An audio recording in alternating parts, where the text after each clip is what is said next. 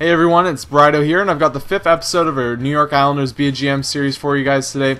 Uh, upon request, we're switching up the pace of the episodes a little bit, going to get more content in on a shorter time. So in this episode, we have about five games, along with um, just coming in actually under 20 minutes for the first time. So, yeah, the first game we had uh, in the set of games is between the New York Islanders and the Toronto Maple Leafs. We've had a great start of the season so far, guys. We've gone four and two after a little bit of a rocky start. Jakob Markstrom comes into the net and has done a great job for us, as you can see from his stats right here. Four wins, a goals uh, against of 1.40, and a save percentage of 914.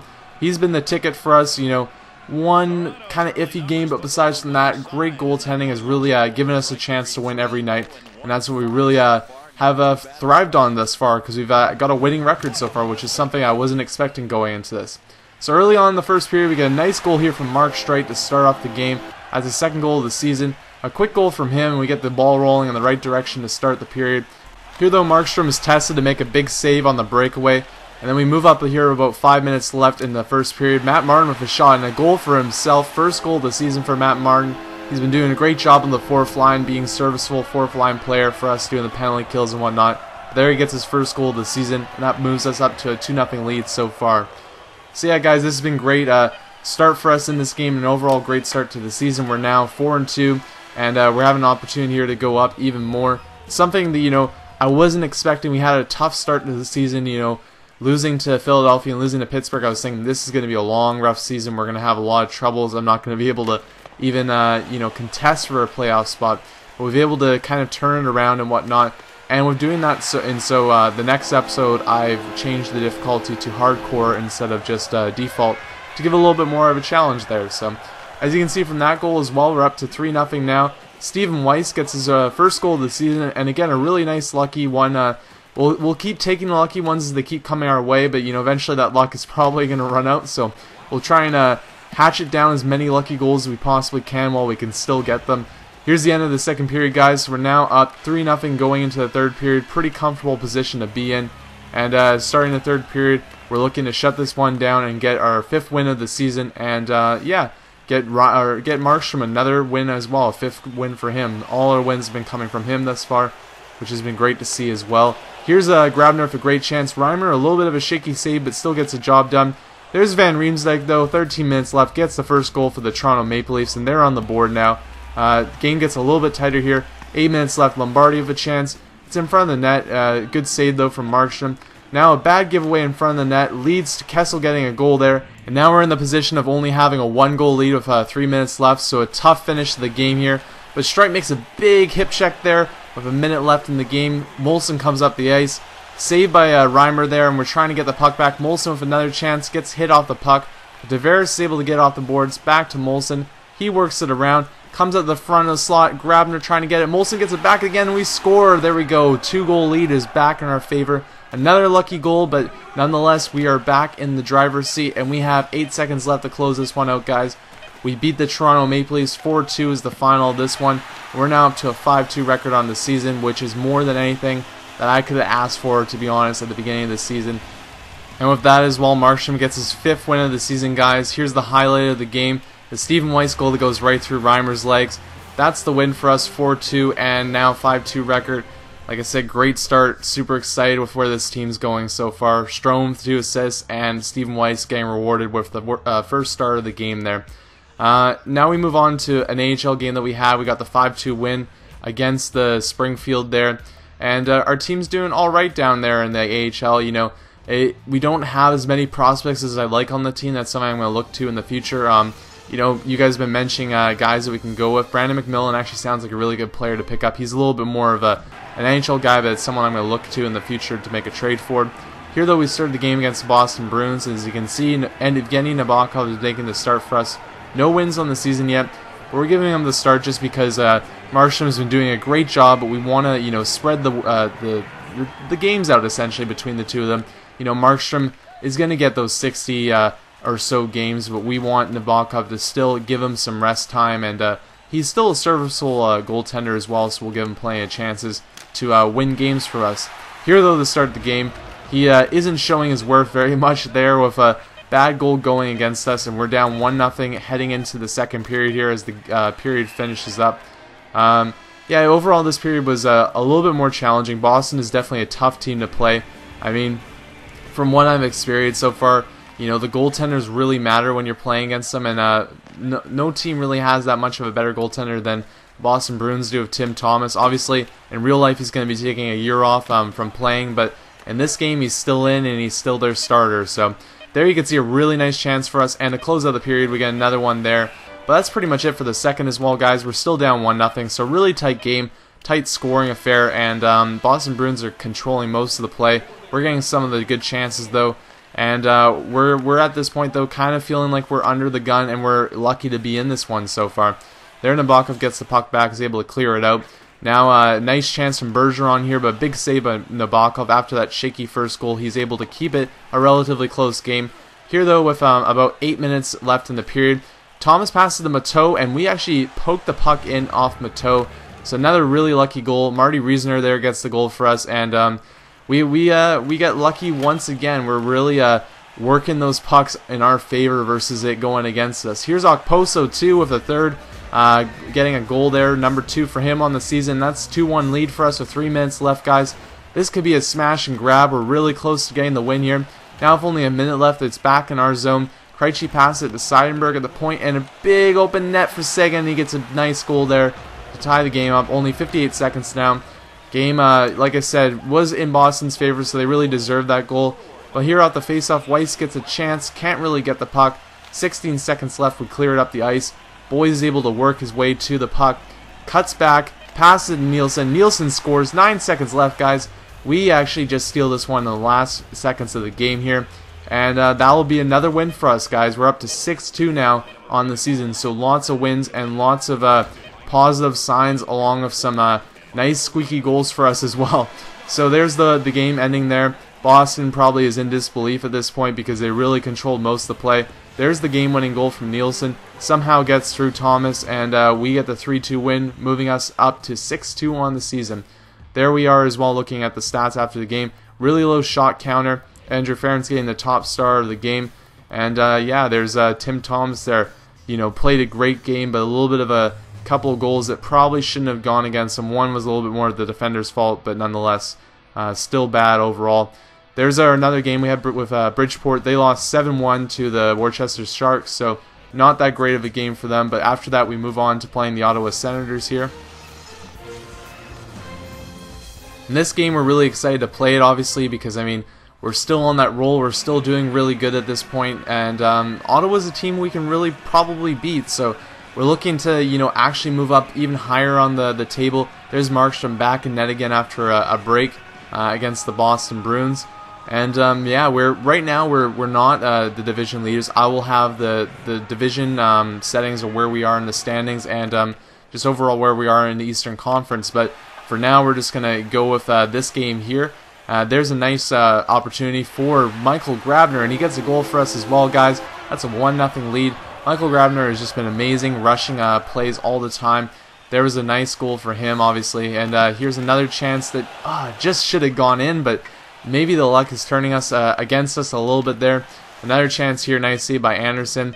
Um, you know, still, like I said regarding the luck, we're going to need a lot more bad plays going against us to make up for all the nice, um, nice chances that have been saved or just, you know, overall lucky goals we've got. Just like that one there, Turisa scores pretty much, but it's, you know, the clock runs out right on the, the button there right before he scores. So still a 1-0 lead for us going into the second period.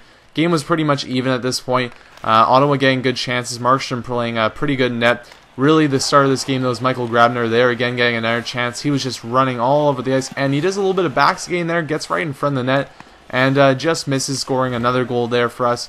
Now with about seven minutes left here, Cowen comes in, big slap shot, rebound right at the front of the slot, and Daugavins, Daugavins gets the goal there. And it's a 1-1 game now with seven minutes left in the second period. So we're back to square one, tied game. And uh, yeah, we're we're we're fighting in this one. This one's a tight game, and um, there's a, a, little bit of a squeaky goal. Markstrom, uh, Matt Gilroy from the point gets a goal, leading uh, the the Sens down to a 2-1 lead. So now we're one goal down, and we haven't been down in the game for a while now. So we're gonna have to fight back in this game after uh, kind of being on the, the the easy seat, not really having to deal with that much pressure for a while now. So starting the third period, We are uh, looking for that tying goal to get this game back to square one and back to possibly overtime for us. Here, Grabner just activates fast uh, skating there. Nice save by Anderson. Probably should have done more of the play. Wasn't able to do it though. Five minutes left in the period. We get a power play, and off the power play, we get a nice chance here, but can't convert it. Weiss comes around the net. Nice little uh, wrap around there, but Anderson makes a save as well. Here, Ottawa gets a nice chance to pad their lead, but they're not able to do it. And now uh, Grabner coming down the slot. Nice wrist shot, and Moulson there is able to jam it in somehow. And we're back to a tie game, guys. Matt Moulson with seven goals on the season. Unbelievable start from him after having a little bit of a slow start in the first couple games. He's really caught fire, and he's our top scorer now.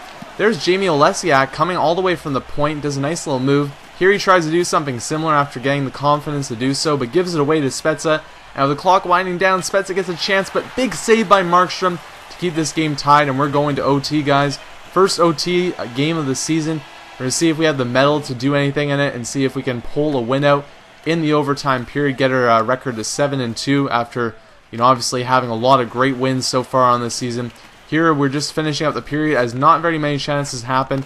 Big chance in front of the slot. Spezza two big shots on the net, but Markstrom with the big saves to keep this one going to uh, the shootout instead of finishing early on here.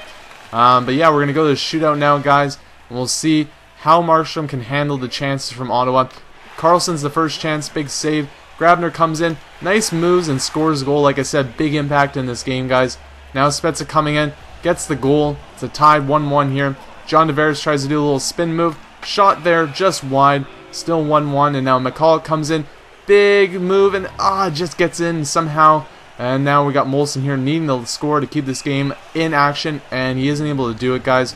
We lose the game in overtime, unfortunately, but that's all right. We did a, a pretty good game against the Ottawa Senators, tried our best, and uh, pretty proud of the boys, even though we weren't able to get the game winner in the shootout. So as you can see guys from the box scores, it was a relatively tight game of plenty of shots at hand. Markstrom and Anderson deserving stars and Michael Grabner getting the uh, first start of the game for his performance. Plenty of shots, a goal, and also that shootout goal as well, even though it went in vain as we lost the game. Here we're moving on to our next game guys against the Carolina Hurricanes who have been on fire to start the season. So we've really got a challenge to start up against this one. You can see Markstrom with great stats so far, but Cam Ward amazing goals against average and save percentage to start the season. He is really on fire, and we're going to have a challenge to beat him in this game. So here we go, guys. Starting up the game, obviously, it's a tough challenge that we're going to have at hand here. Cam Ward playing amazing in net, and they now have guys like Jordan Staal and Alexander Semin to help them out scoring. And there's Alexander Semin showing what he can do, getting the first goal of the game, only three minutes in there. We, uh, we're, we're worried to start, like I said, looking at Cam Ward's stats, I was feeling a little bit worried. Here's another chance, and Samson gets a goal with a minute left in the game, or a minute left in the first period. Uh, so yeah, tough start to the first period, and uh, that finishes off, guys. We're down 2 nothing to start the first. So not the best start to the period. Here, though, we uh, move on, and they're going to keep the ball rolling in their favor with the power play. And uh, later on in the power play, they get a chance right here, a little dangle, and Jokinen gets a nice goal after missing uh, on the first wrister. If it was a a little bit of a fake out there. It definitely worked on Markstrom. We're down 3 0 now, guys, and still really early in the second period. And Nodl gets another goal. This one is not going our way. We choose to let Markstrom have a break. He's been playing great for us, but we don't want to, you know, sacrifice him in this game to have a terrible outing. Here we decide to drop the gloves. I rarely do. We uh, we lose the fight to Alexander Semin. Mr. Slappy slaps us silly, and we are down 4 0 now, 5 0 guys. We're just to skip ahead here it's all downhill. We get Niederreiter for goal there at 5-1.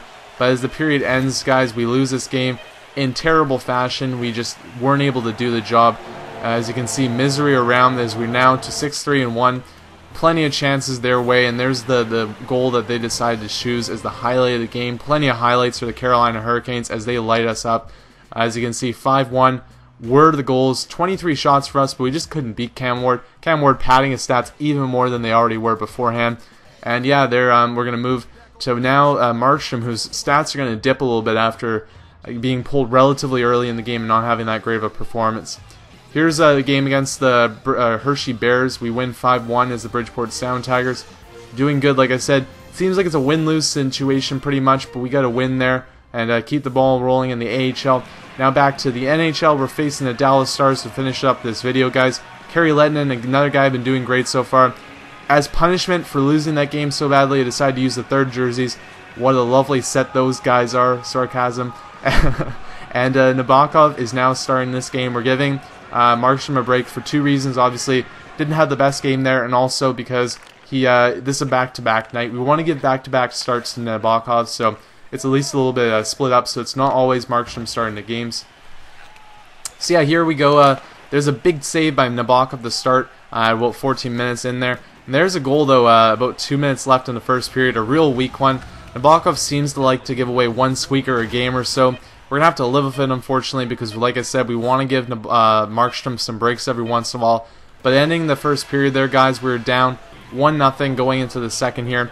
So after a relatively good start to the video and relatively good start to the season, we're still 6-3 and 1, but we've uh, lost the game in the shootout, been blown out by the Carolina Hurricanes. We're now down one nothing in this game. Really don't want to lose another game especially after all the progress that we've made. There's boys with a big chance, but just isn't able to put it away. Six minutes left here. Uh, nice chance from the point, isn't able to go. Now uh, the Dallas Stars going the other way. Cross crease pass goes in the net. Nice trim with the goal there. It's a 2 0 lead now for the Dallas Stars. We are now behind the driver's seat a little bit. We need to get back into this one quickly if we're going to have any chance.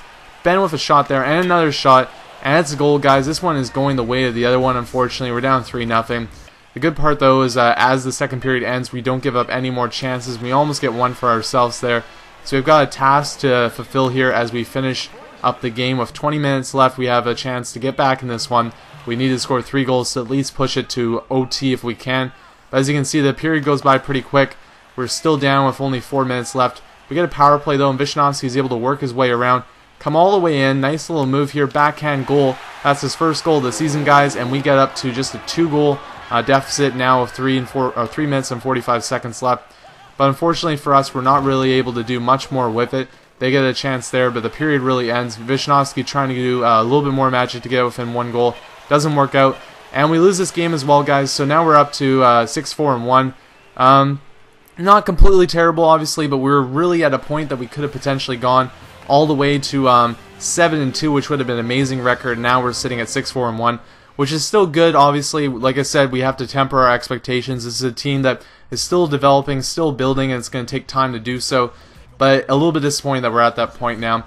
Um, here, though, to finish out the video, I want to show you guys the stats for the season after 11 games. Moulson is our top point getter and goal scorer of 7 goals. There's Strome and Weiss with 6 points each, and Tavares at 9 as well.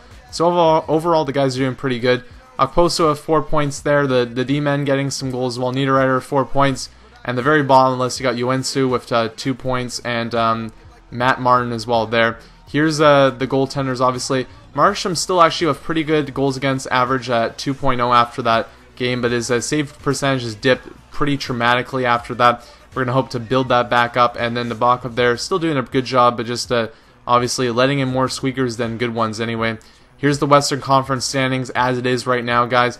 You can see the top of the standings there, and Minnesota sits the bottom.